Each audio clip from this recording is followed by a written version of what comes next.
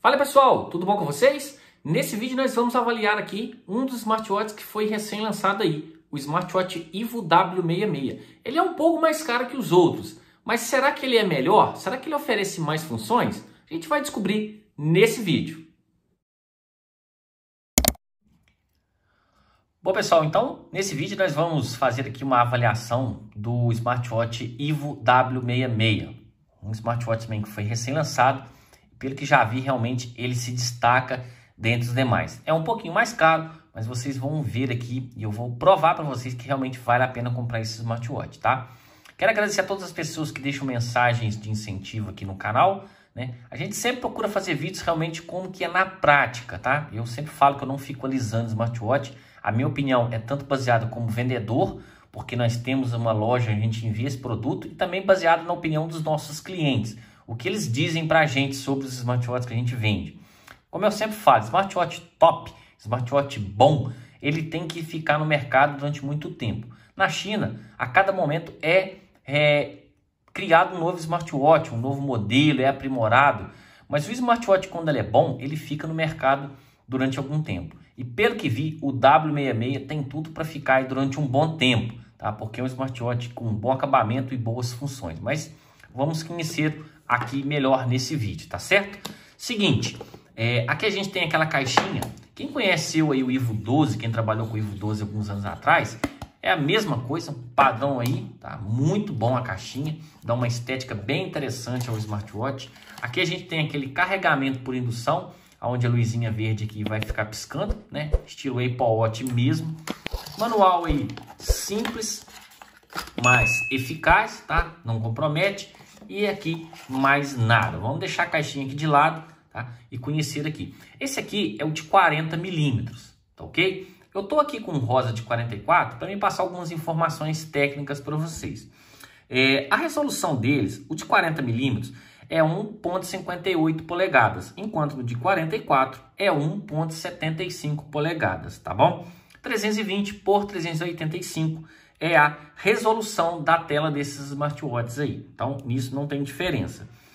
Claro, tamanho da carcaça vai ser diferente. Aqui a gente tem uma carcaça de 40 por 34 por 10.7 de altura.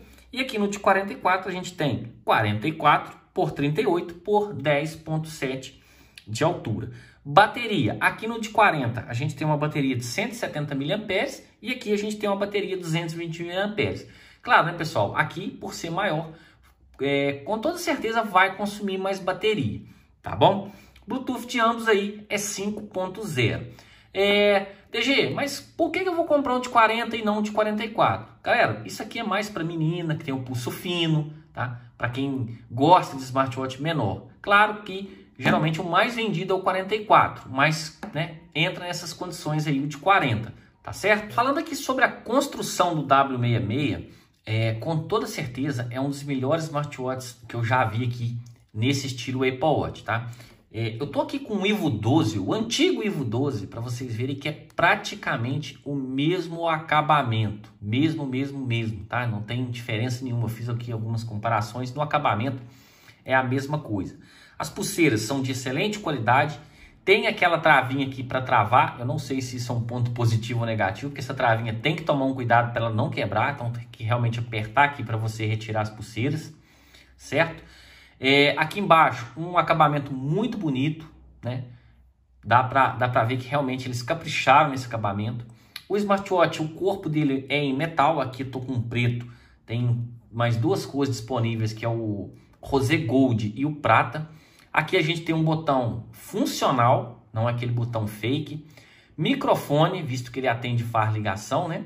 A coroa com aquele detalhezinho vermelho, inclusive agora a coroa é rotativa, tem essa função também, tá? Acabamento da tela 2.5D, tá? Esse acabamento aqui. Bordas muito pequenas. Olha que, que borda pequenininha que tá vindo agora, né? Deixa a tela do smartwatch bem mais interessante aí com toda certeza. Então, no quesito acabamento, eu acho que esse smartwatch aqui, na minha opinião, tá? É o que mais se aproxima aí do Apple Watch, tá certo? É, eu quero falar aqui um detalhe para vocês da questão da bateria. Esse smartwatch está conectado 24 horas direto no meu celular, e em 24 horas ele consumiu menos de é, 50% de bateria, ou seja, era um problema do Ivo 12 que parece que nesse smartwatch aqui eles corrigiram. Como eu sempre falo, smartwatch tem ponto positivo e negativo. E um dos pontos que mais pesa aqui para os nossos clientes que eles reclamam é bateria. E parece que pelo menos aqui a gente vai ter dois dias de bateria, tá bom? Bom pessoal, então vamos conhecer aqui agora as funções do W66 eu já estou conectado aqui no aplicativo que é o Fit Cloud Pro, para mim um dos melhores aplicativos aí atualmente, certo? Eu sempre falo aqui nos vídeos no canal, smartwatch bom tem que ter aplicativo bom, porque senão não vai adiantar de nada se você tiver um aplicativo aqui meia boca. E também aí, nossos clientes sempre mandam feedback, realmente, DG, tem que ter um aplicativo legal, senão o smartwatch se torna aí fraco, tá bom? Então, fica ligado aqui no vídeo que a gente vai dando sempre dicas importantes para vocês aí. Rolando para baixo aqui, sem mistério, conexão, informação do código MAC, nível de bateria. Aqui um atalhozinho para as músicas, você pode ativar aqui ou desativar, tá? Fica a seu critério aí. Aqui está o QR Code para você fazer o download do app e aqui é a troca de menus. Tem dois menus. Ah, DG, só tem dois menus. Pessoal, ninguém fica usando cinco menus não, tá? Todo mundo usa ou menu grade ou menu colmeia. E são os dois melhores menus aí de ser usados, tá bom? Esquerda para direita, função esportiva. Tem aqui algumas funções. Não possui GPS, né? É um smartwatch mais em conta. E também não é um smartwatch à prova d'água não, tá, pessoal? Então, se você for nadar, se você for molhar um smartwatch como esse aqui, toma cuidado aí, tá? Para você não perder o seu produto. Ah, mas lá no site fala que é a prova d'água, DG chinês não dá garantia de três meses não, viu galera? Então, rolando para cima, a gente tem aquele velho atalho das mensagens. Aqui você pode visualizar, você pode excluir, ó, tem Instagram, Facebook. E o detalhezinho que elas ficam com um pontinho vermelho. Quando você clica ali, ó, legal, dá para ver que você leu e pode excluir. Então dá para você filtrar as que você leu e as que você ainda não leu, tá bom? Para acessar aqui, né, o aplicativo, a gente vai rolar aqui para nossa esquerda. Você pode também pela coroa aqui, tá? Mas eu vou pela tela que vai ficar mais fácil. Então, iniciando aqui, a gente tem um contador de passos, monitor de sono, aqui aquela função de respiração, tá, galera? Mas eu não faço esses testes, não. Batimentos cardíacos, pressão arterial, temperatura do corpo, oxigênio do sangue. Pessoal, eu sempre falo o seguinte, isso aqui não é um equipamento médico, tem gente que fica brava aí no YouTube, ah, o smartwatch está marcando fora do pulso. Eu nunca vou chegar aqui e falar para vocês que isso aqui funciona 100%. Isso aqui é para auxiliar vocês aí, tá certo? Mas assim, alguns smartwatches a gente vê que realmente eles são mais próximos do que outros. O W66, pelos testes que eu fiz, eu gostei, tá bom? Depois a gente tem aqui o Music Player, né? faltou aqui aumentar e diminuir o volume, mas não vai fazer tanta diferença. Função da mulher, função esportiva, função do clima. Aqui a gente tem o despertador, cronômetro, temporizador, as notificações novamente, função encontrar o celular, vai ficar apitando até você achar. Nível de brilho, nível da, do brilho da tela, gostei, achei bacana, tá? Sempre deixa no meio para menos ali para consumir menos bateria, tá? Função de registro de chamadas, contatos para você sincronizar com seu celular para você fazer uma ligação diretamente. Isso aqui consome também mais bateria, tá?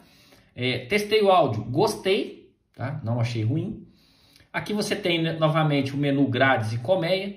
Função desligar o smartwatch, acabei desligando ele aqui. Deixa eu ligar ele novamente, ó. Basta segurar aqui no botãozinho. Bom que a gente até mostra para vocês como é que liga, não? E aí ele liga, tá? E depois a gente tem a opção de resetar ele. Caso você for vender para outra pessoa, você pode clicar aqui, ele vai resetar. E aqui nas configurações você pode mudar o idioma, caso você queira treinar o seu russo, o seu chinês. Exibição do brilho da tela, aqui a gente tem interruptor de descagem, que você pode fazer a troca das watch faces. Ó. Elas não são interativas não, viu galera? Ó, essas aqui, é, elas, você toca no íconezinho ali, elas não mudam, tá? Voltando aqui nas configurações, a gente tem é, o brilho para você controlar novamente, o tempo da tela acesa, é, iluminação, vira o pulso para ativar, 6 segundos, vou deixar aqui 2 segundos.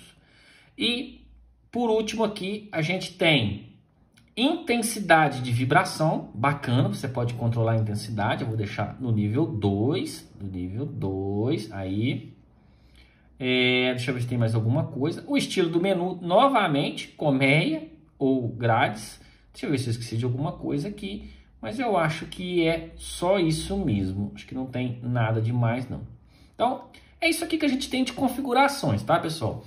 O aplicativo, como eu falei para vocês, é muito bom. Eu gosto bastante dele, tá? Inclusive, dá para você aqui ligar suas notificações preferidas, né? Não tem opção de WhatsApp Business, tá, galera? Se liga nessa dica aí.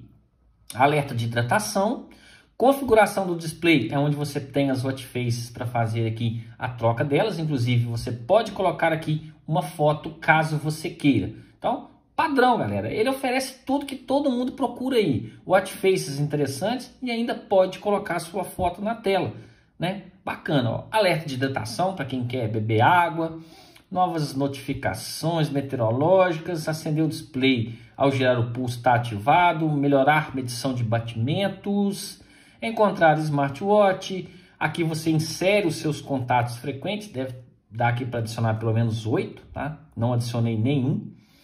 E aqui a gente tem outras configurações, como sincronizar com o Google Fit, caso você queira, e aqui as informações de saúde dele.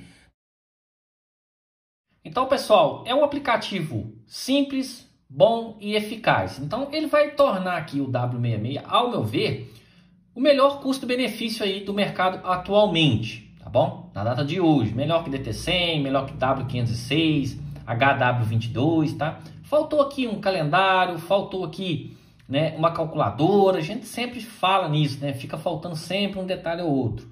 Mas ao meu ver, é um smartwatch muito bem acabado, muito bonito, estilo Apple Watch aí fica muito próximo dele, tá? E com custo bem abaixo do mercado. Para o que vocês realmente procuram aí em smartwatches, ele vai oferecer aí tranquilamente, tá bom? Não vai ficar devendo em nada não. Então eu espero ter alcançado o objetivo desse vídeo. Se alcancei, quero te convidar a fazer parte da nossa, aqui do nosso canal, né? O DG Explica. Vai deixando esse like, se inscreva no canal e ative o sininho das notificações. Ficou alguma dúvida? Deixa nos comentários, você compraria o W66 ou não? Deixa aí nos comentários que a gente vai trocando aqui uma ideia. Valeu?